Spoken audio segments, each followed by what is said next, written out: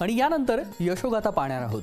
गावोगावी सोडून दिलेल्या भाकड गायांना जमा करून पैठण तालुक्यातील पारुंडी येथील परमेश्वर नलावडे यांनी गोशाळा उभारली आहे. शंभरहून अधिक जमावलेल्या ह्या गायींना जगवण्यासाठी ह्या अवलियानं फळांनी लगडलेल्या मोसंबीच्या बागांचं पाणी बंद केलं असल्याचं चार पाच एकरावरील हिरवागार मोसंबीचा बाग पाण्याविना उद्ध्वस्त झाला. गोमातेच्या सेवेपायी तब्बल पाच लाखांच्या उत्पन्नावरती परमेश्वर यांनी पाणी सोडलेलं आहे. पाहूयात या रिपोर्टमधून.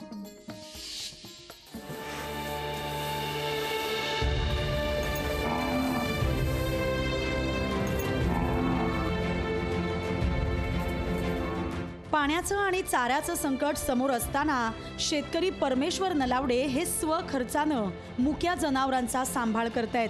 दोन हजार बारापासून नलावडे कुटुंब पारसनाथ नावाची गोशाळा चालवत आहेत सुरुवातीला या गोशाळेत पंचवीस जनावरं होती.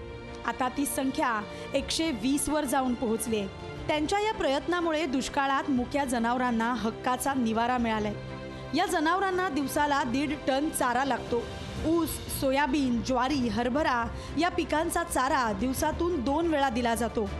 साधारणपणे सहा ते सात हजारांचा दिवसातील खर्च आहे. गाईला पाणी नसल्यामुळे आम्ही झाडाचं पाणी बंद केलं पंधरा दिवसापासून. आणि गाईला पाणी ठेवलं आणि आता ते गाई आनंदानं पितात. नाही झाडं आमची जगली असते. पाण्याची टंचाई गाईला वाचल्यामुळे आम्ही झाडाचं पाणी बंद केलं. शासनाच्या कुठल्याही मदतीविना गेल्या दहा वर्षांपासून ही गोशाळा सुरू आहे.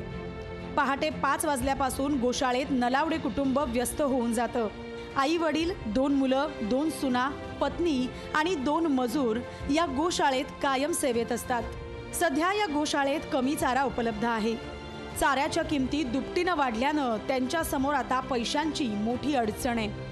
अनाथ आजारी जनावरांसोबत प्रशासनानं पकडलेली जनावरही याच गोशाळेत पाठवून दिली आहेत. तेव्हा प्रशासनानं आणि दानशूर व्यक्तींनी या गोशाळेला मदत करावी अशी अपेक्षा परमेश्वर नलावडे यांनी व्यक्त केली आहे.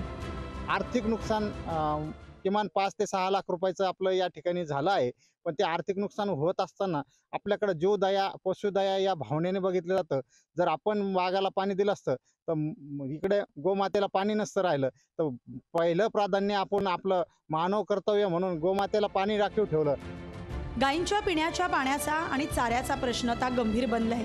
तरीही कुठलीही तडजोड न करता त्यांनी गायींच्या चारा पाण्याची सोय केली आहे.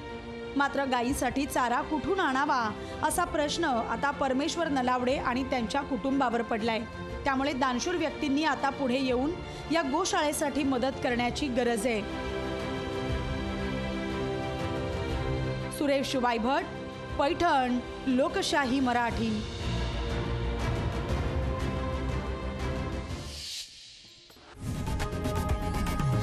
लोकशाही मराठी. ऐका पहा. जागरूक रहा।